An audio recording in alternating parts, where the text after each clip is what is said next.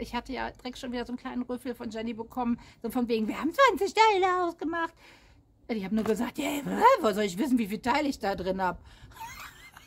da müsste es mich doch langsam kennen. Ich höre irgendwann beim Einpacken auf zu zählen. ist bei mir einfach so. Aber das wisst ihr doch eigentlich alle. Ich bin definitiv die. Ach, ist es herrlich. Ach, das bringt einen doch direkt zum Lachen. Ach, wie schön. Da ist mir doch noch glatt ein kleiner davon gehüpft. Den habe ich jetzt gerade erst gesehen. Keys Soul Care Let Me Glow Illuminating Serum. Also äh, das und noch so einiges mehr erwartet euch jetzt im Paket von der lieben Jenny.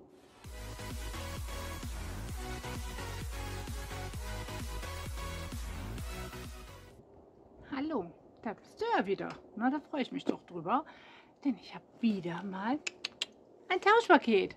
Und zwar diesmal mit der lieben Jenny von Eden. Wollen wir doch mal reingucken, was drin ist. Also, ihr wisst das schon, Jenny und ich haben schon mal das Vergnügen gehabt, zusammen ein Tauschpaket zu haben. Damals war es ein Trash-Paket und ich habe böse Schelte gekriegt, weil ich das falsch ausgedrückt habe. Jetzt habe ich extra nachgeguckt, Jenny, damit die kleine Dicke hier nicht wieder einen drüber kriegt, weil sie es falsch gesagt hat. Du hast geschrieben Tauschpaket. Also, wir haben ein Tauschpaket. Habe ich jetzt schon mal gesagt, dass wir ein Tauschpaket haben? Und ich habe ganz viele Schnipsel. Dabei habe ich so viel Hunger. Was soll ich mit? Katrin sagt immer, die Dinger kann man essen. Ähm, ähm, ja, ich wollte mir das eigentlich hier so rüber tun, aber ich glaube, das geht so eigentlich auch ganz gut. Da unten habe ich einen Karton fürs Papier hingetan. Also so ein bisschen organisiert bin ich heute schon mal. Zumindest ein bisschen organisierter als sonst. Jenny, ja, was soll ich euch zur Jenny sagen? Was ihr nicht eigentlich schon alle selber wisst. Jenny und ich mögen uns, Jenny und ich kommentieren fleißig gegenseitig. Jenny und ich schreiben auch mal ab und zu Sprachnachrichten miteinander. Das ist immer so ein bisschen sporadisch, mal ein bisschen weniger und dann wieder ein bisschen mehr. Und ich liebe einfach diesen Humor von der Frau, das habe ich schon beim letzten Paket gesagt. Und ich würde mir immer wünschen, sie würde sich mehr trauen, das raushängen zu lassen. Ich weiß jetzt aber mittlerweile, warum sie das nicht so kann. Wie du weißt, ich bin ja schmerzfreier, ne? Ich würde meinen Humor raushauen. Aber ich respektiere das. Wir gucken jetzt mal in die Karte rein. Jenny hatte nämlich angefragt, du, was ist denn jetzt mit unserem Tauschpaket? Hättest du noch mal Lust? Ich finde das immer toll, wenn, wenn man mich jetzt anschreibt. Nur mittlerweile muss ich halt wirklich zu einigen sagen, ja, aber ihr müsst bitte etwas warten. So, eine sehr schöne Karte. Vielen Dank. Ich schau mal eben rein. Uh, uh, uh, oh, für Ihre Verhältnisse hat sie ja echt mal viel geschrieben. Hallo meine Liebe, endlich ist es soweit und unser nächstes Trash-Tauschpaket. Haben wir jetzt doch gesagt Trash-Tausch? Oh, ich werde wahnsinnig. Wir haben ein Trash-Tauschpaket. Wobei, ich hatte so gut wie keinen Trash mehr. Von daher sind die meisten Teile neu und unbenutzt. Also doch ein Tauschpaket. Ich würde dir unter dem Video einen Kommentar da lassen und schreiben, welche Produkte benutzt sind. Ach, ich hoffe sehr, dass du dich über die enthaltenen Sachen freust und dass du mit ihnen etwas anfangen kannst. Leider war ich nicht so federführend wie du, aber ich hoffe dennoch, dass was Schönes dabei ist. Vielen lieben Dank für unsere Gespräche und fühle dich ganz doll gedrückt. Viele liebe Grüße, Jenny. Ja, kann ich nur so zurückgeben. Ja, du, wir zwei, wir werden es, glaube ich, nie auf die Reihe kriegen, dass wir wirklich wissen, wann ist es ein Trash, wann ist es ein Tauschpaket. Weil ganz ehrlich, also ich verpacke eh meistens kaum Sachen, die äh, zum Trashing gehören und nenne sie nur deshalb Trash, weil ich sie schon länger habe. Von daher, wir gucken jetzt mal rein. Ich überlege gerade, ob ich die Schnipsel jetzt erstmal alle schon mal so da reinkippe. Aber ich versuche so gut es geht, es hinzubekommen. Also diese Balea Q10 Antifalten Augenpads habe ich in der Tat selber schon recht lange im Schrank liegen. Weil ich tatsächlich jetzt festgestellt habe, ich bin so mehr der Freund von diesen Gelpads und gar nicht mehr so diese, diese Art Tucher, Tucher, hm, Tücher Augenpads. Aber wenn ich mich dran gebe, werde ich sie auch ausbenutzen und ich weiß, sie sollen gut sein. So, benutzt, ach, benutzt darüber. So, ich muss doch, ich muss die Schnipsel ein bisschen mal eben wegkippen. Geht nicht anders. Ich hasse die schon immer bei den normalen Paketen. Kann sich jetzt nur noch um Jahre handeln hier bei uns. Die waren nicht gerade sparsam mit ihren Chips. Chips zum Essen. Chips zum Essen, Jenny. Die fliegen hier gleich überall durch den Garten. Mein Mann freut sich richtig, dass ich hier draußen bin. Schatz, die waren zu schnell. Der Wind war flotter als ich. Ich habe sie nicht gekriegt.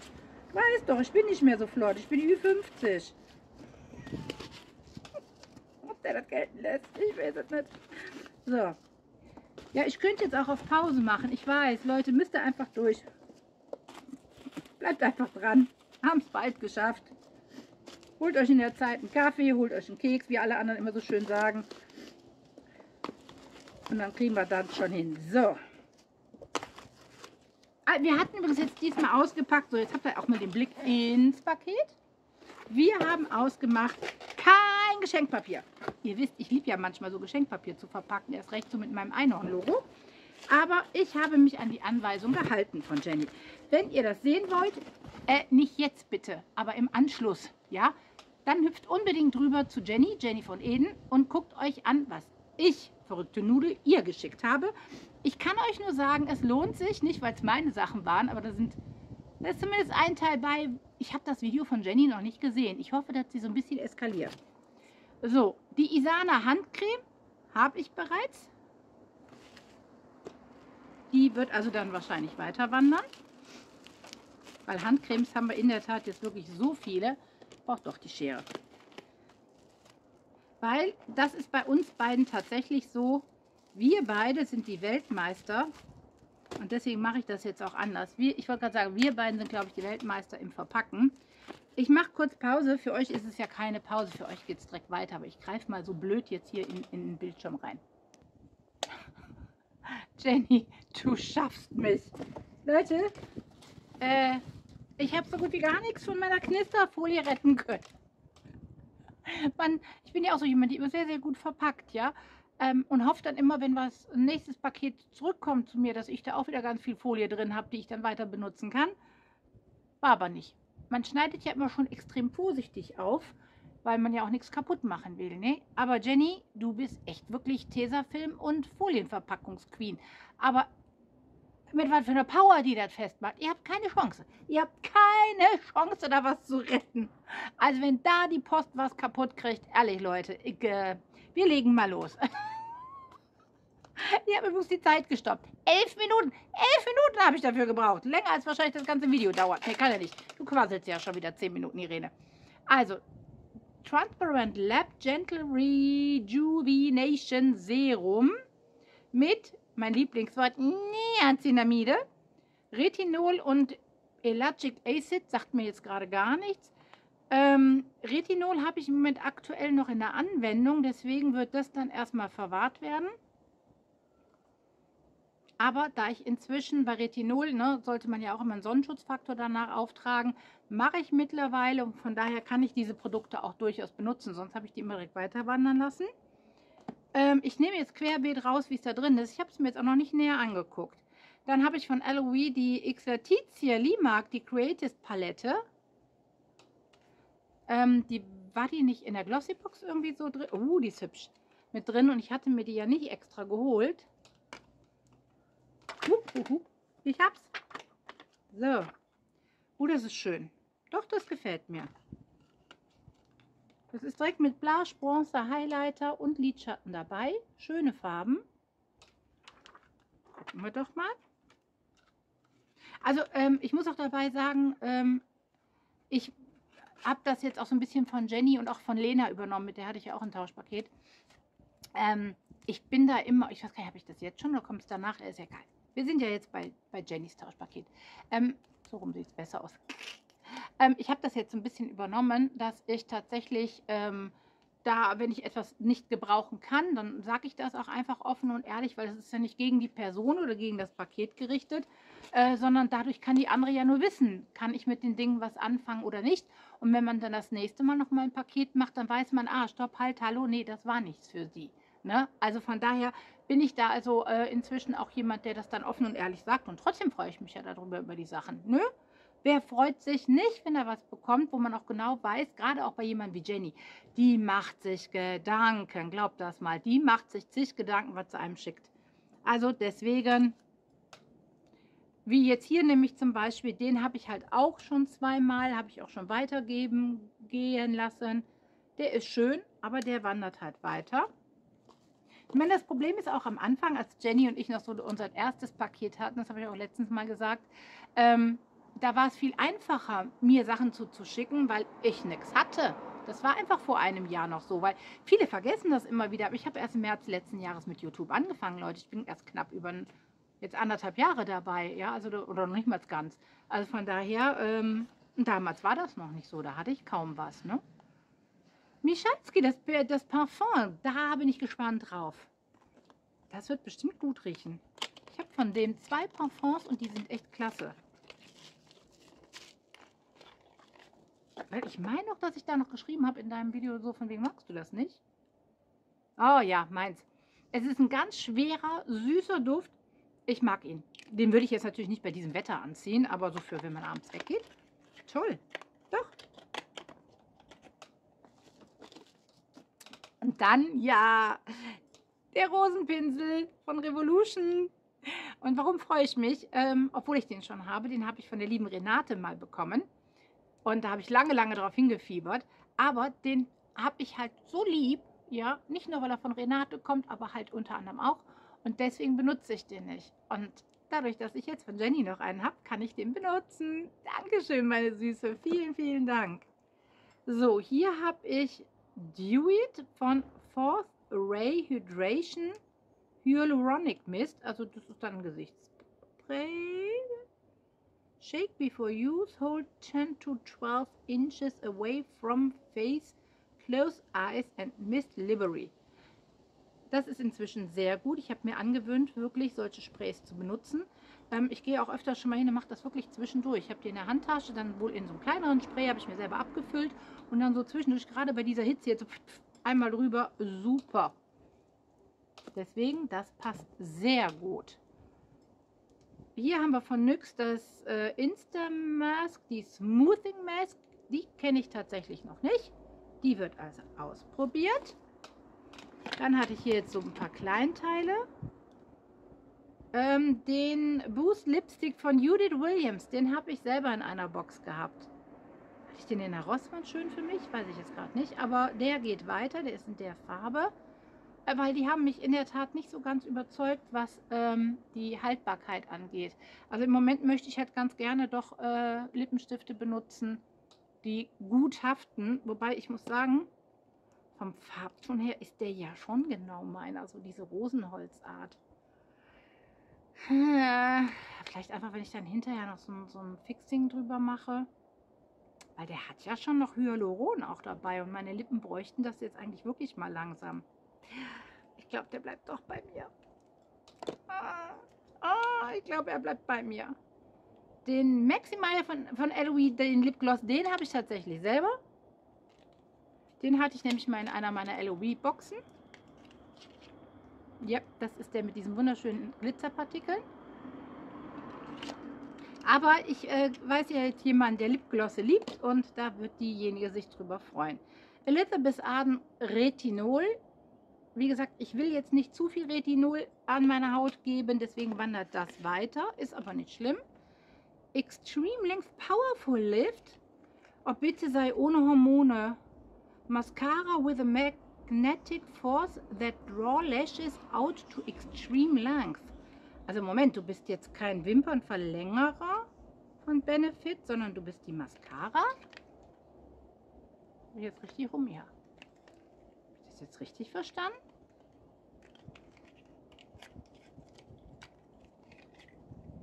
Ich drehe den jetzt nicht auf. Ich gehe davon aus, dass das eine Ma Mascara ist. Mich irritiert dieses Real Mag Magnet. Also Magnet. 40% länger? Äh, erklär mir das mal bitte, Jenny, was damit jetzt auf Ich könnte das ja auch googeln, aber du möchtest ja eh was im Kommentar schreiben. die 4711, die wandern, glaube ich, irgendwie bei uns allen im Moment weiter.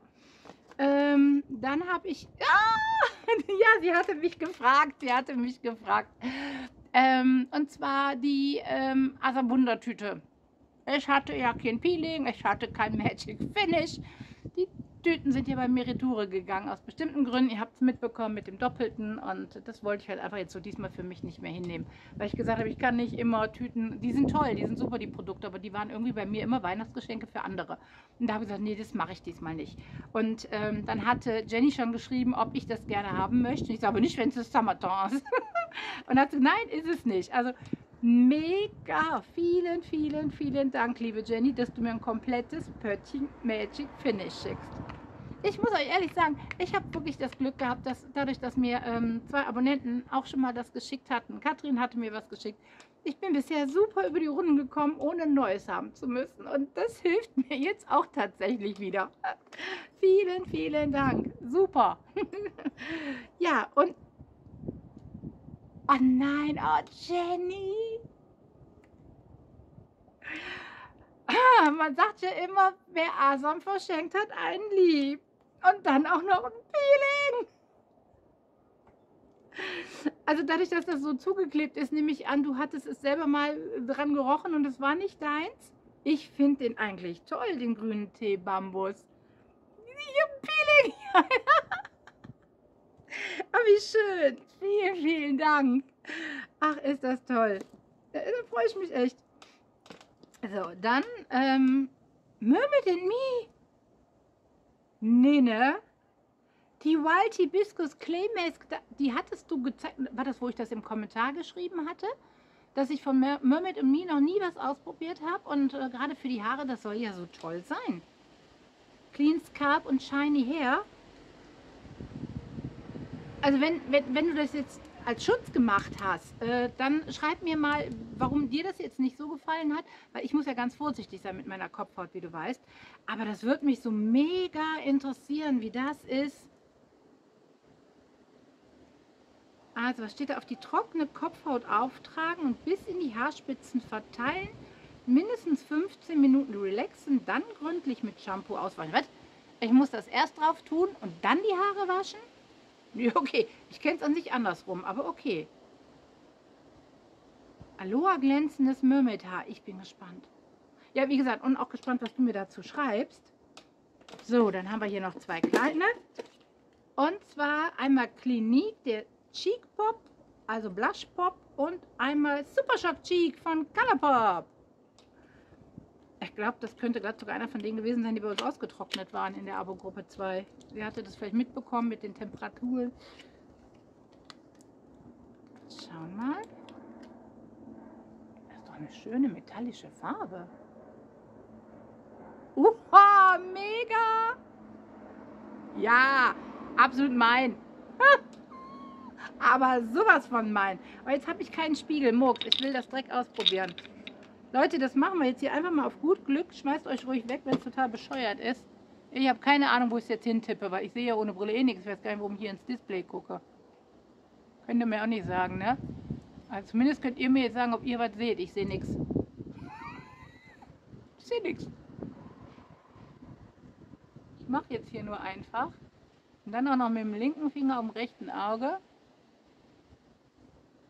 auf die Wimpern wahrscheinlich noch bei meinem Glück und jetzt auf den Finger. Also das wäre jetzt wieder mal intelligent von dir, Frau Moment.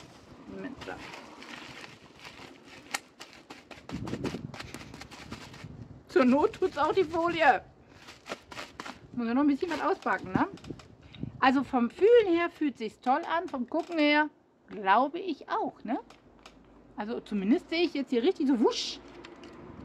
Naja, das ist ein Glitzer. Ich hab Glitziglitzer. Ich hab Glitziglitzer.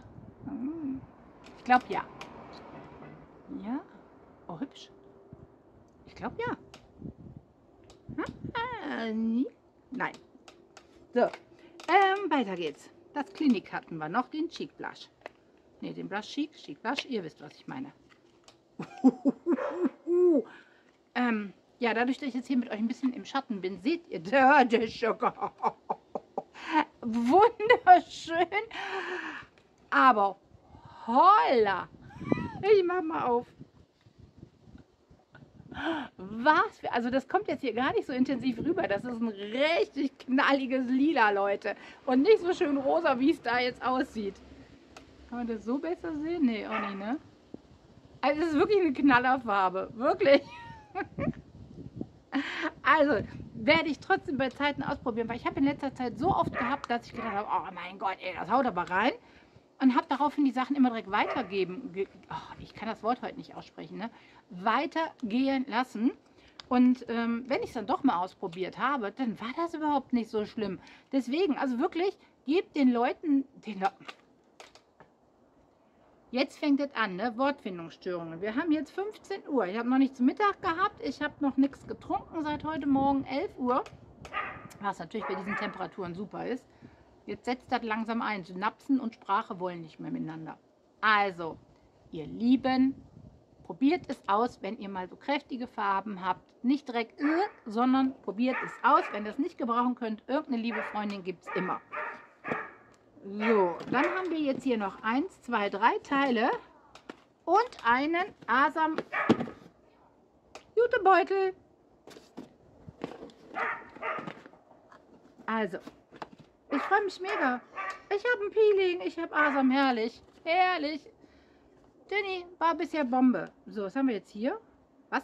En plan conscience, Self-Care is Love, eine Me-Time-Massagebürste? Da bin ich jetzt mal gespannt. Bin ja nicht so der Bürstentyp, ne? Wisst ihr ja.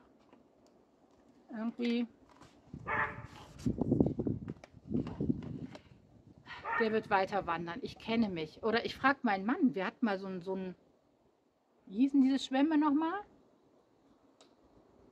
Fluf, Fluf, Fluf. Ich habe keine Ahnung, ihr wisst, was für Schwämme ich meine. Ja, vielleicht will der den sogar benutzen. Wenn nicht, wandert der weiter. Irgendwer wird sich freuen. Geil. Das, hattest du das in der Barbara-Box, glaube ich, ne? Wo ich gesagt habe, das wäre perfekt für mich. Und das habe ich tatsächlich. Ich könnte euch das jetzt glatt mal eben einblenden. Ich habe in zig Räumen von mir, egal ob Gästetoilette, oben im Flur, bei, beim Flurfenster, ob bei uns im Schlafzimmer, überall stehen solche Sprüchekalender. Ich finde die mega. Jeder, der mich kennt, weiß das. Und ich, ich meine, das wäre bei dir gewesen, richtig? Wo ich das kommentiert habe, dass ich den so toll finde. Du nennst es Mädelsabend, ich nenne es Therapie. All you need is Mädelsabend. Mädels, meine Mädels, wenn ihr jetzt guckt, wir brauchen endlich wieder einen Mädelsabend. Es gibt doch nichts Besseres, als im Kreis bester Freundinnen zu quatschen, zu essen, zu trinken und dabei den Rest der Welt zu vergessen. Sorgen und Nöte werden weggelacht und die Welt wird plötzlich wieder rosarot. Naja gut, zumindest hellpink. Mit diesem lustigen Aufsteller kannst du dir die Freundinnen-Therapie ganz einfach nach Hause holen. Ich freue mich. Oh, oh, der ist und richtig, das sieht man jetzt nicht, ne? Der ist so richtig so ein bisschen hier erhaben. Oh, wie schön. Also keine Sorge, ich gucke jetzt nicht alles mit euch durch, aber noch so einen kleinen Teil zumindest. Ja, wir Mädels, das ist eine ganz besondere Beziehung. Zusammen haben wir jede Menge Spaß, können lachen, feiern und gemeinsam das Leben genießen. Aber auch in schlechten Zeiten sind wir füreinander da, bauen uns gegenseitig auf, trösten, umarmen und haben im Notfall immer ein Taschentuch parat. Mädelsabende sind einfach die beste Therapie. Ja, genau. Freundschaft ist, wenn man nicht extra aufräumt, bevor die andere kommt. Das passt wie die Faust aufs Auge. Ach Leute, das sind tolle Sprüche und die sind sogar von beiden Seiten. Freunde sind Familie, die man sich freiwillig ausgesucht hat. Oh, oh, nein, das erinnert mich komplett jetzt hier an unseren Mädelsabend hier. Äh, Katrin, Gini, Antje, ihr wisst noch, ne? Socken an, Pyjama an und ab geht die Party. Ach, wie her. Oh, ja. Oder so, so möchte ich mich auch so mit gewissen YouTube-Mädels und mit meinen Freundinnen irgendwann mal sehen. Ich bin definitiv die. Ach, ist es herrlich. Ach, das bringt einen doch direkt zum Lachen. Ach, wie schön. Herrlich. Falls jemand Lust hat, ein Auto zu klauen, ans Meer zu fahren und sich das Leben zu ruinieren, ich bin noch wach. Ach, herrlich. Der Freund ist einer, der alles von dir weiß und der dich trotzdem liebt. Genau. Und das ist eigentlich ein wunderschönes Schlusswort. Ja, Ne? So ist es doch. Man will doch einfach letztendlich geliebt werden, egal wie man ist. Und immer hofft man, dass da einer mindestens ist, der das tut. Und deswegen, ich danke euch vielmals für all eure Sympathie und all eure Liebe, die ihr mir entgegenbringt. Bei dir, Jenny, bedanke ich mich wirklich. Ne? Also es ist schön. Es, also gut, ich, wie gesagt, ich habe jetzt nicht durchgezählt. Ne? Ich hatte ja direkt schon wieder so einen kleinen Rüffel von Jenny bekommen. So von wegen, wir haben 20 Teile ausgemacht. Ich habe nur gesagt, yeah, wo soll ich wissen, wie viel Teile ich da drin habe? müsstest mich doch langsam kennen. Ich höre irgendwann beim Einpacken auf zu zählen. Ist bei mir einfach so. Aber das wisst ihr doch eigentlich alle. Von daher, also äh, du hast mir Sachen eingepackt, die perfekt zu mir passen. Auch wenn jetzt ein paar Sachen jetzt für mich letztendlich nicht zu gebrauchen sind, weil ich die bereits schon mehrmals habe. Das ändert ja nichts daran, dass es Sachen waren, die zu mir passen. Und wie gesagt, Magic Finish, ich habe Parfum, ich habe Peeling, ich habe dieses tolle, tolle, diesen tollen Aufsteller. Und ich habe den Rosenpinsel, den ich endlich benutzen kann. Ach, ich danke dir vielmals, Jenny. Es hat mir Spaß gemacht. Ja, und ich, äh, ich gucke jetzt gerade nur dahin, weil da liegt jetzt alles. Ja, und ich hoffe, wie gesagt, ihr hattet auch Spaß dabei, mich dabei wieder zu begleiten, wenn ich ein Tauschpaket auspacke. Waren jetzt mal zwei relativ kurz hintereinander oder werden halt kurz hintereinander sein. Wie gesagt, das andere weiß ich jetzt gerade nicht. Aber ich hatte halt wirklich viele Anfragen gehabt, die ich jetzt alle so ein bisschen nach hinten schieben musste. Wird jetzt so langsam auch mal kommen. Ne? Ja, es macht halt einfach Spaß. ja, wie gesagt, ich hoffe, den hattet ihr mit mir jetzt auch und bis zum nächsten Mal. Tschüss.